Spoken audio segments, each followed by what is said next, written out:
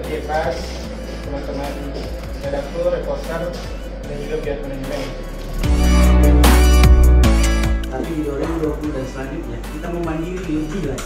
Artinya apa? Kreativitas dari teman-teman kawan-kawan sekalian dan membangun suatu platform bukan hanya ini milik saya dan Pak Rudi, Pak Direksi, tapi harus tertanam dalam diri kawan-kawan sekalian. bahwa ini rumah kita bersama.